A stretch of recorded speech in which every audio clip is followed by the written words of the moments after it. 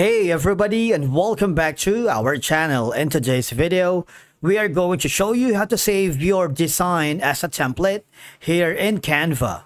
Let's begin. Saving a Canva design as a template here allows you to reuse the design for future projects or share it with others. Once you are logged into your account, I want you to open the design or project that you are working if you wanted to share that as a template. Now here, I'm working with this specific design. And for me to be able to save it as a template, it's very easy. All I have to do is click the share button on the top right corner. There's going to be an option that says brand template. If you can't find the brand template here, all I have to do is click the see all. All right. You should be able to see, you see that brand template. If you click on it, what will happen is it would be forwarded here. You can add this to the folder, for example, your projects or a lot more, right? So as you can see, you can turn this design into a reusable template, perfect for your staying on brand. Publishing the template will allow everyone on your team to use it, all right?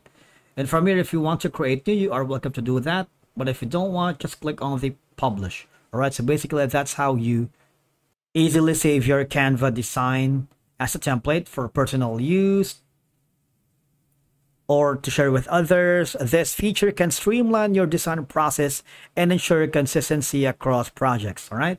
You can add another more projects here and go to the video right here. You can add a lot of information. For example, this right here. You can be creative and you're not limited with how you can use it. For example, um, I'm going to be just uh, adding a text box. Very quick. I'm going to create a new design from scratch. Change it to maybe like this. Add a, a background maybe like this one. All right. And again, all I have to do now, once I'm happy with this design, all right. For example, if you have multiple templates, you can consider organizing them in specific folders for easier access. And again, if sharing with others, consider including notes or instructions. For example, this, you can put in a comment here, like this one. So that they can use the template effectively as per your requirements or your preferences, all right? And again, click on the share button, click on the brand template, and you would be forwarded here to turn this design into a reusable template perfect for staying on brand. And that's it for today's video. Thank you so much for watching. We will see you again in the next one.